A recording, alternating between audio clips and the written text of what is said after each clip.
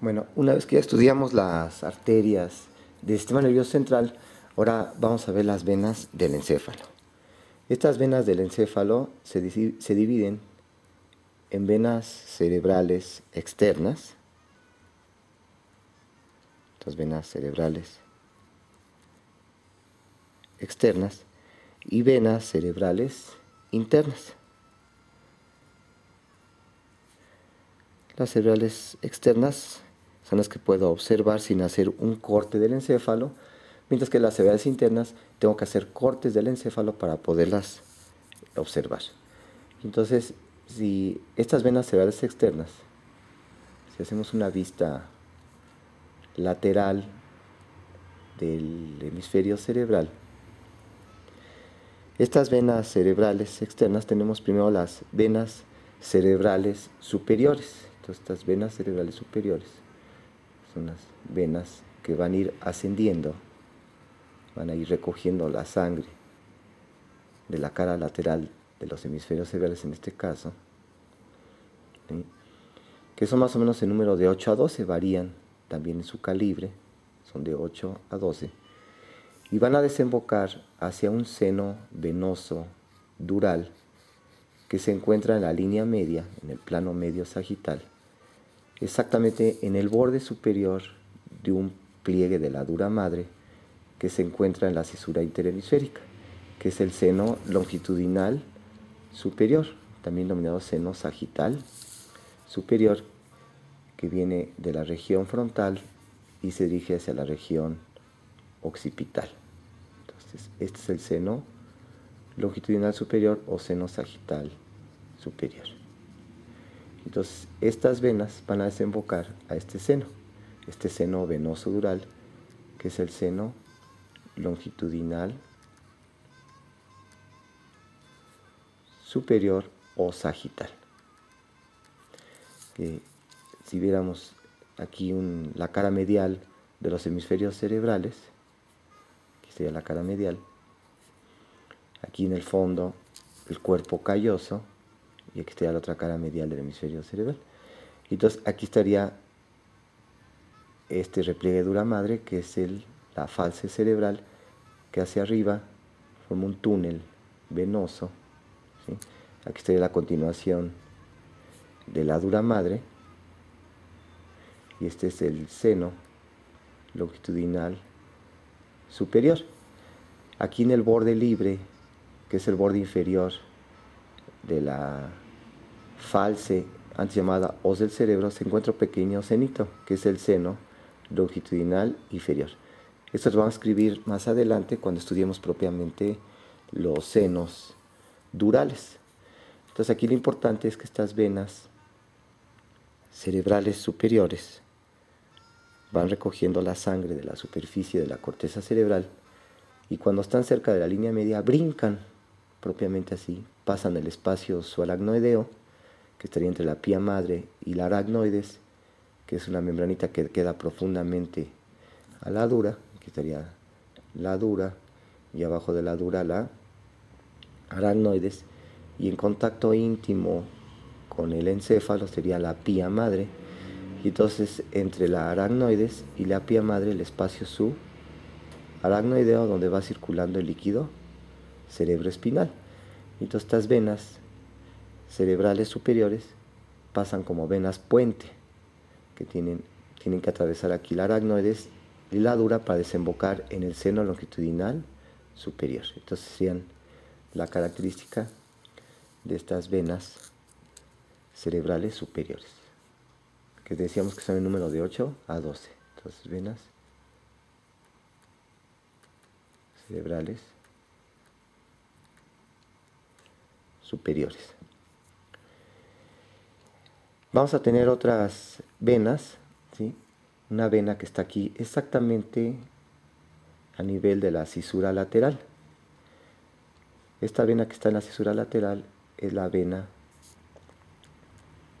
cerebral media superficial.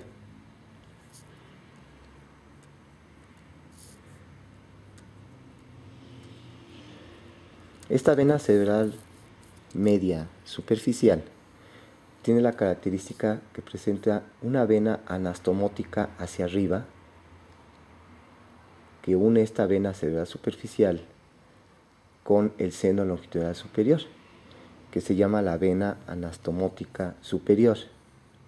Aquí tengo la vena anastomótica.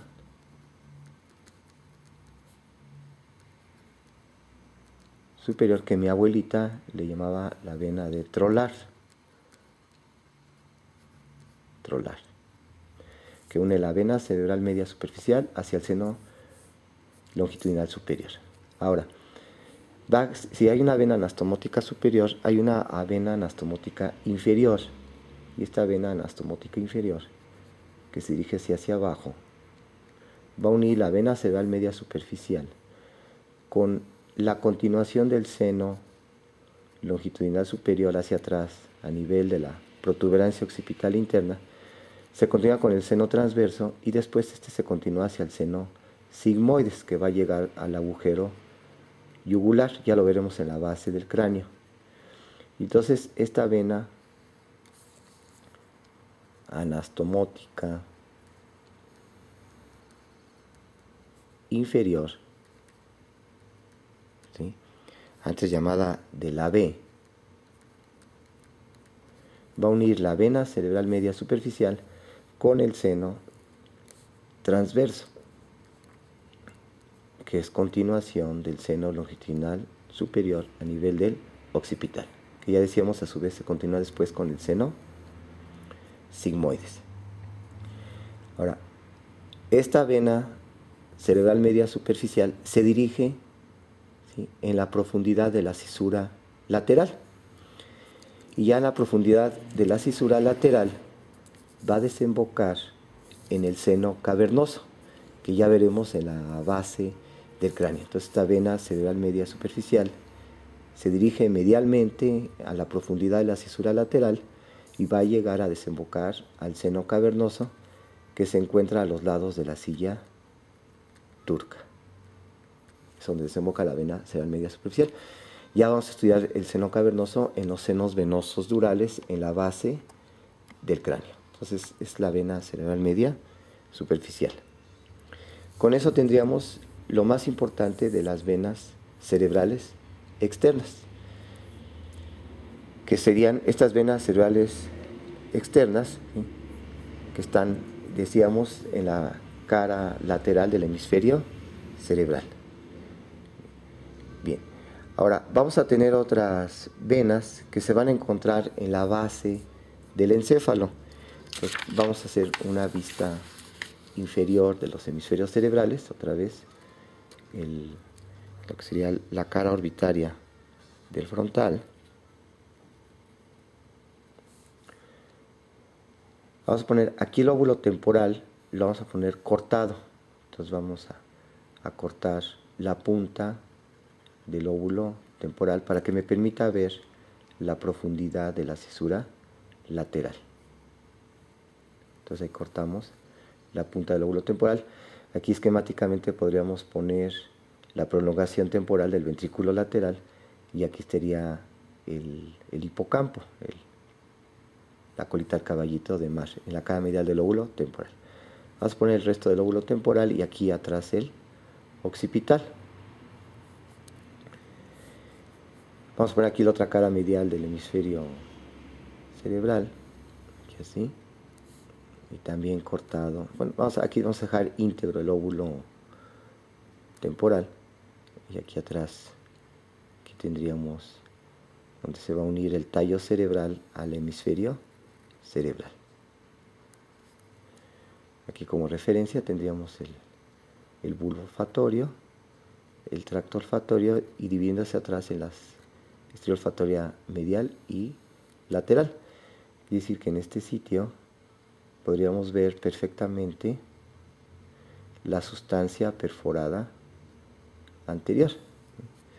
Entonces aquí estaría el óvulo temporal cortado. Y aquí el óvulo orbitario del frontal.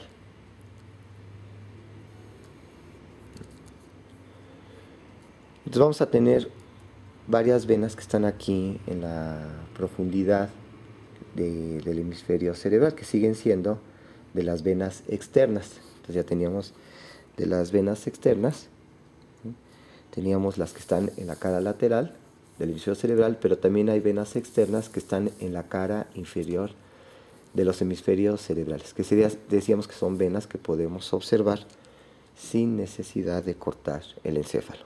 Posteriormente veríamos las venas profundas del cerebro. Entonces, de las venas externas del cerebro que están en la cara basal, tenemos una vena que es la vena cerebral media profunda, que viene aquí acompañando a la arteria cerebral media. Entonces tengo aquí la vena cerebral media profunda en la cisura lateral, que también iría acompañando a la vena cerebral superficial. ¿Sí? Se ve la vena cerebral media superficial que va a, va a desembocar al seno cavernoso. son dos venas cerebrales medias. La profunda, que es esta, que es pequeña y está en la profundidad de la estructura lateral, y la superficial, que sí va desde la cara lateral del hemisferio cerebral y después se va hacia el seno cavernoso. Entonces, esta vena cerebral media profunda, que es pequeña, aquí está la vena cerebral media profunda. A nivel de la sustancia perforada anterior, se va a unir con otra venita que va, acompañando a la arteria cerebral anterior. Y entonces esta venita es la vena cerebral anterior.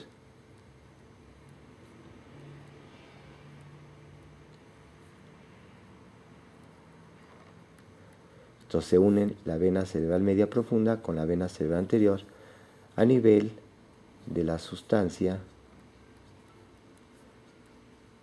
perforada anterior. Y al unirse estas dos venas van a formar la vena basal. Vena basal que se va a dirigir hacia atrás y va a ir rodeando al mesencéfalo. Esta vena basal mi abuelita le llamaba de Rosenthal.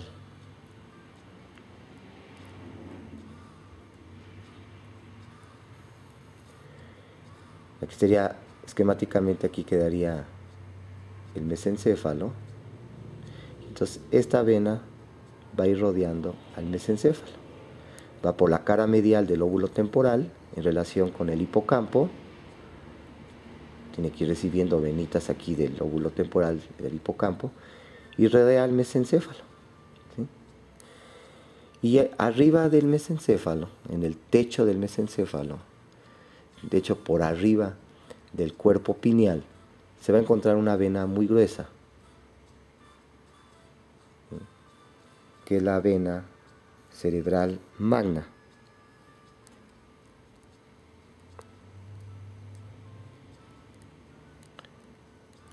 o la gran vena cerebral.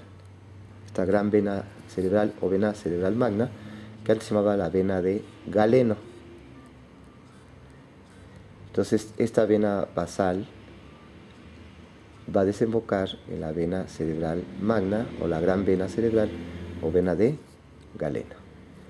Entonces, ahorita vamos a, repasar esta vena de Galeno, porque ahí es donde van a desembocar las venas internas del encéfalo, que está por arriba del cuerpo pineal. Entonces, este tendríamos las venas eh, externas del cerebro que están en la cara basal del encéfalo. Entonces tendríamos la vena cerebral media profunda que se une a la vena cerebral anterior a nivel de la sustancia perforada anterior, se unen y forman la vena basal o central que se va hacia atrás, rodea el mesencéfalo y arriba del mesencéfalo, donde se encuentra la pineal, y arriba de la pineal, que está alojada en el techo del mesencéfalo, se encuentra esta vena cerebral magna o de galeno, que ya después veremos que hacia atrás desemboca en el seno recto. esta vena cerebral magna, hacia atrás desemboca en el seno recto, que llega a donde termina el seno longitudinal superior, que es lo que se denomina la confluencia de los senos. Mi abuelita le llamaba la prensa de erófilo, que vamos a ver en los senos venosos de la base del cráneo. Entonces, vena de galeno o vena cerebral magna al seno recto y el seno recto a la confluencia de los senos, donde llega también el seno longitudinal superior. Bien, entonces vamos a ver ahora las venas que decíamos que había venas cerebrales internas, que estas solamente las vemos si hacemos un corte del encéfalo. Y estas venas cerebrales internas, si hacemos una vista superior de los tálamos, ya conocemos, el tálamo, la adherencia intertalámica que cruza al tercer ventrículo, el otro tálamo en una vista superior. Esto es anterior y esto es posterior. Aquí tendríamos en la pared posterior del tercer ventrículo el epitálamo, el cuerpo avenular y el cuerpo pineal, el otro cuerpo avenular, cuerpo pineal. Aquí adelante la lámina terminal. Esto lo habíamos descrito que aquí arriba vendrían los fórnices, ¿verdad? Aquí vendrían los fórnices que vendrían del hipocampo se montan, se unen en la línea media arriba del tercer ventrículo y se acuerdan que hacia adelante se separaban para limitar el agujero interventricular y después en abajo de los tálamos para llegar a los cuerpos mamilares. Bueno, aquí lo importante, más o menos, este sería el sitio de los agujeros magnos, de los, perdón, los agujeros interventriculares o agujero de Monroe. Estaría el sitio del agujero interventricular o de Monroe, que estaría limitado por el pilar anterior del fornix y la porción anterior del, del tálamo. Quiere decir que en este sitio donde ya van a estar los ventrículos laterales, aquí sería, aquí sería el septum pelúcido y aquí el ventrículo lateral, septum pelúcido y ventrículo lateral. Y comunicando el ventrículo lateral con el tercer ventrículo a través de este agujero. Bien, vamos a tener que aquí más o menos a la altura del agujero Monroe, o agujero interventricular, se están originando dos venas que van sobre los tálamos, que son las venas cerebrales internas,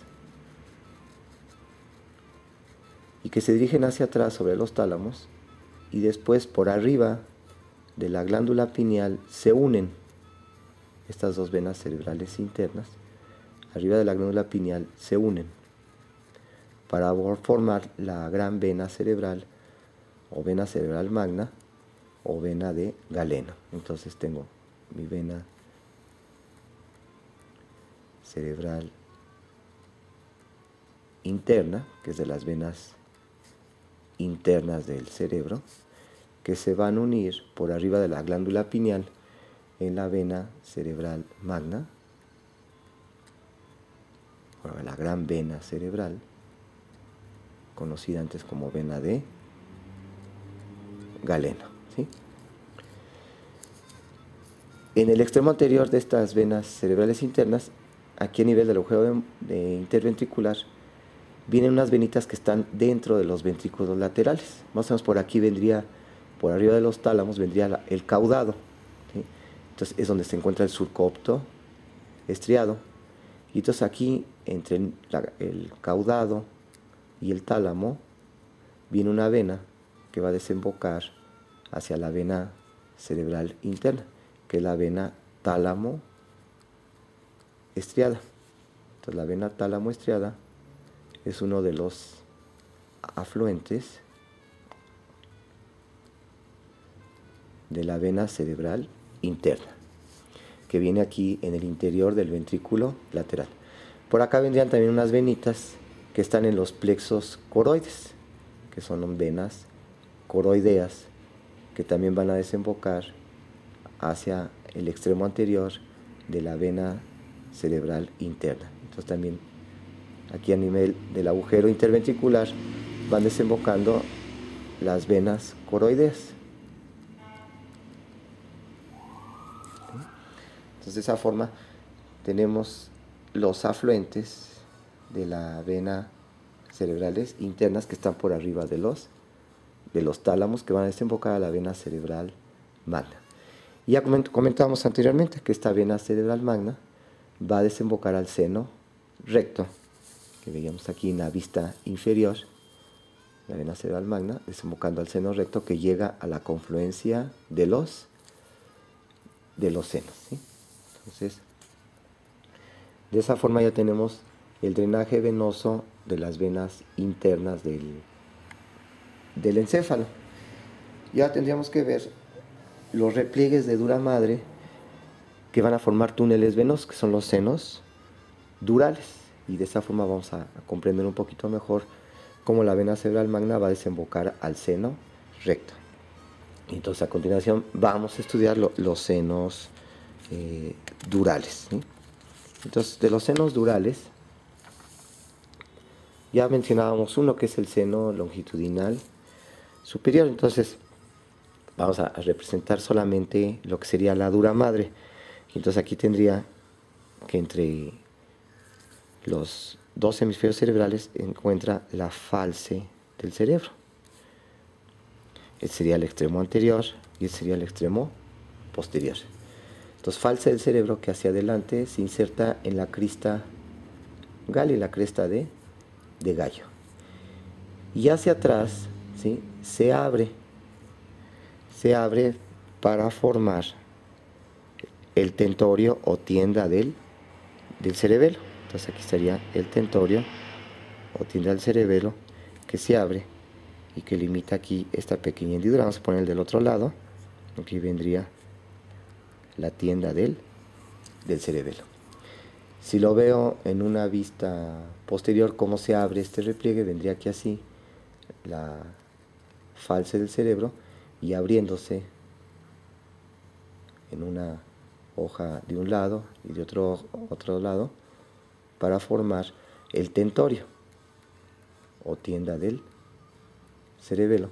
Y aquí estaría la falsa en una vista posterior. Entonces aquí tenemos el tentorio, que es la extensión hacia atrás y hacia los lados de la false o la hoz del cerebro. Y aquí está limitando este espacio. De hecho, aquí se está insertando en el borde superior del peñasco. Y aquí está limitando una hendidura, que aquí adelante estaría el dorso de la silla turca. Entonces, si hiciéramos una vista de la norma interna del cráneo, tendríamos otra vez la norma interna del cráneo cortamos la calota. Y otra vez tendríamos aquí las alas menores del esfenoides con las clinoides anteriores anterior la silla turca y el peñasco, la porción petrosa del temporal de un lado y aquí el del otro lado Aquí estaría el agujero magno y aquí el dorso de la silla turca. Entonces, este repliegue de dura madre, aquí se estaría insertando desde la protuberancia occipital interna hacia el canal del seno transverso. Aquí estaría insertándose en el canal del seno transverso. Quiere decir que aquí vamos a tener el seno transverso. Y cuando llega a este punto, es en este sitio, es decir, se va insertando en el borde superior del peñasco y esta pequeña borde libre en forma de herradura estaría exactamente en este sitio, por arriba, por atrás del dorso de la silla turca y del, del clivus. Entonces todo esto representaría la tienda o tentorio del cerebelo que aquí abajo estaría el agujero magno. Entonces ya tenemos dos compartimientos.